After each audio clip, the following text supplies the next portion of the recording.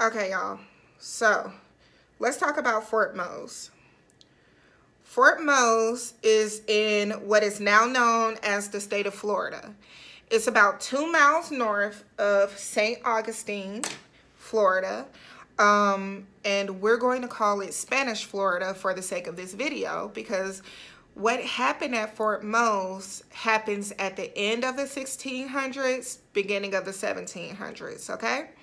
So we're calling it Spanish Florida because the United States is not established yet. It's still known as the New World, which means that Great Britain, France, Spain, and a bunch of other European countries are fighting for the land in the New World, right?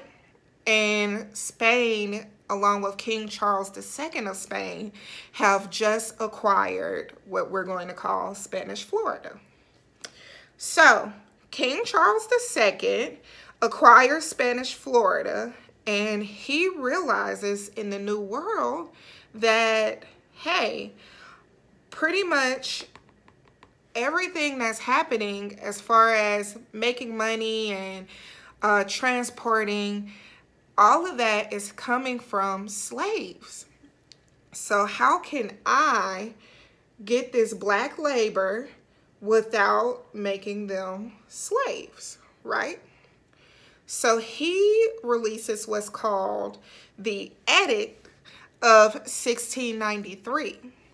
And it pretty much states that he's not going to help to free slaves, but if you're a runaway slave and you make it to Spanish Florida land, he would pretty much set you free. You would be considered a free person, right? So, um, of course, there were slaves who were scared. They didn't want to do it because, you know, you could possibly die, pretty much. And a lot of slaves did die trying to get their freedom. Let me just make that clear. But a lot of slaves also made it and became free and that's a whole nother lesson in itself about how there's freedom on the other end of fear. But we're talking black history. So I'll stick to the topic, okay? so a lot of slaves get their freedom, right? 1738 comes and Fort Mose name is officially established as Fort Mose, right? So while there are a lot of slaves um, who are still in captivity who are hearing about Fort Mose, there are a lot of free black men and women. Let me also state that uh, King Charles II, um, he made this land available for runaway slaves but it was under the stipulation that you had to join the Spanish militia. You also had to convert from Christianity um, and become Catholic. So that was his um, two main rules that he had set. And I don't think that, you know, they had any issues with that. They just wanted to be free. Not only were they free, uh, when they got there, they weren't doing labor like picking cotton. They were learning carpentry and working in stores and, you know, basically just learning trades and not just learning to pick cotton and say, yes, massa, and be scared of white people, pretty much. And the cool part about it also was Spanish Florida was pretty much like a melting pot. Um, there were white people there who felt that, you know, black people should be free. They should just work like everyone else. There were also Indians who were there. Um, and there were Spaniards, of course. Um, but they were all working next to each other. They were all part of the Spanish militia. They were working next to each other, you know, just living day by day. And it was awesome. But, you know, where there's also awesomeness, there's a hater somewhere in the distance, you know, just watching and plotting. And that's pretty much what the English people were doing. They were watching and plotting. And in 1740, they invaded Spanish Florida.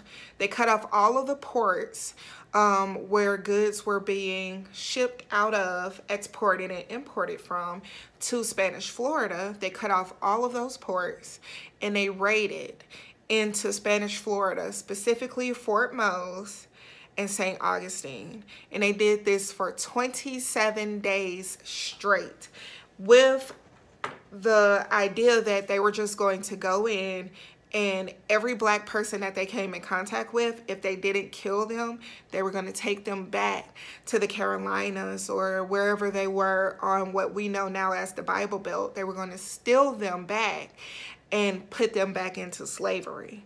So the African Americans who came over with the Spanish people when they acquired Spanish Florida, if they happen to run into one of these militiamen or soldiers, whatever we want to call them, one of these English soldiers while this raid was happening and the soldier was able to capture them, these people were now slaves if they didn't die on the way back to wherever the soldiers took them.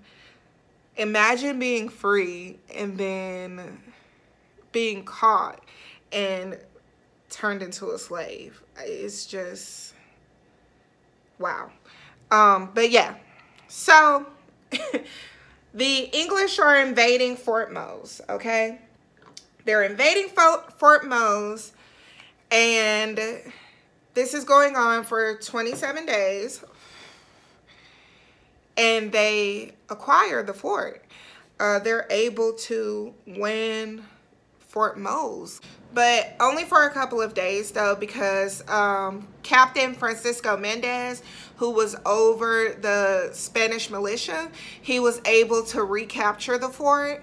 And once he recaptured the fort, um, they were able to push out the English people um, enough to where, you know, they pretty much ceded and went back home. And, you know, it didn't come without them pretty much ruining the fort, ruining the area, but it was able to be rebuilt. And actually Spanish Florida stayed Spanish Florida for quite a long time after and it stayed that safe haven for fugitive slaves who wanted to run away and be free it also stayed that safe area uh, for black people just in general who wanted that freedom. Now, I will note that in 1763, East Florida ceded to uh, Britain in what they call the Peace of Paris, and pretty much the rest of Spanish Florida ceded not too long after that. Most of the blacks migrated to Cuba with the Spaniards when they left. Um, it doesn't really say what happened to the ones who decided to stay. I'm honestly not sure why they decided to stay, but they did. And um, we do know that slavery became way more prevalent and Spanish Florida turned into Florida, which we know then turned into the Bible Belt.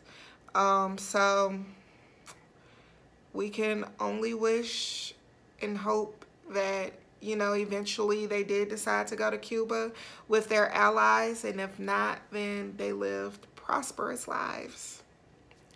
I can't really tell you. I couldn't find what happened to them, the ones who decided to stay. But yes, that is the end of this video. Uh, the rest of the videos will be full face. Um, this one, like I said, is just special because there's going to be two videos in one month. Um, this one I'm going to post. And then at the end of the month, there will be another one which will show the other half of my face that will give you more history because not only do Black Lives Matter, all Black Lives Matter, Black Trans Lives Matter, Black Gay Lives Matter, and you don't have to agree with what a person does or their lifestyle, but I think that we can all agree that they're human and they're supposed to be our brothers and sisters and we're supposed to stand for them.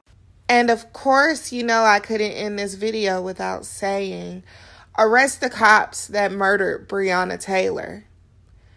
I hope you guys enjoyed and learned something and I learned a lot and I'm excited to learn new things with you.